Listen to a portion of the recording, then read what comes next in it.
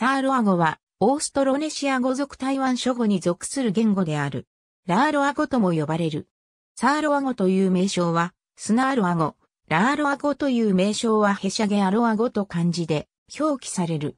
母語サーロア語でカリライルアと呼ばれる。台湾のサーロア族の言語である。台湾の高尾市島元区とナメナツ区で話されている。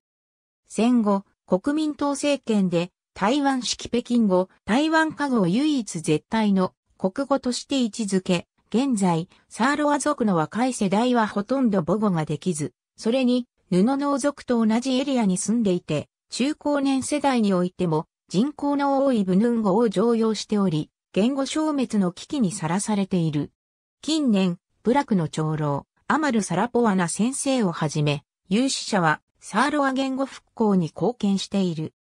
台湾政府の台湾原住民族委員会は、首都制という母語学習の政策を制定し、深刻消滅危機のある原住民の言葉に対して、1対1、または1対2、話せる高齢者は、先生として若い世代に1日8時間、1週5日、1ヶ月160時間、有給で密集的に母語の伝承教育を実行する。アマル・サラポワナ先生の生徒、ピンティア・トゥーマ・マラキーゼスと PNA バナは、モーサーロア語能力試験に合格し、特にビンティア・トゥーマ・マラキーゼスは、台湾原住民テレビ局放送サーロア語ニュースのアナウンサーとして務めている。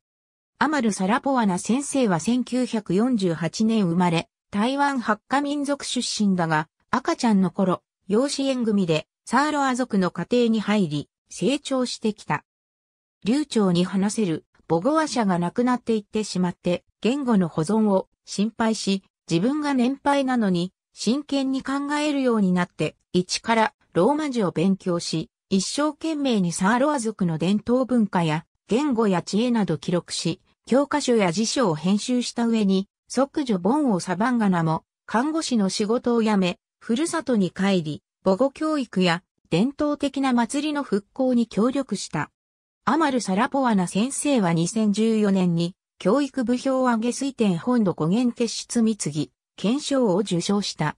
高尾市東元区にある高中国民小学校は積極的に母語教育を行い、付属保育園でもイマージョンプログラムが導入され、サーロア語を教える。ありがとうございます。